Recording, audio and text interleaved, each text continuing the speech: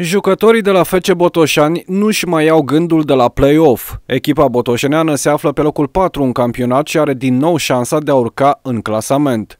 Tocmai de aceea, o posibilă ratare a play-off-ului ar fi văzută ca un mare eșec de către jucătorii botoșaniului. Stadiul în care suntem acum și pe poziția în care, pe care ne aflăm, din punctul meu de vedere, ar fi, ar fi un eșec să, să ratăm uh, accederea în play-off.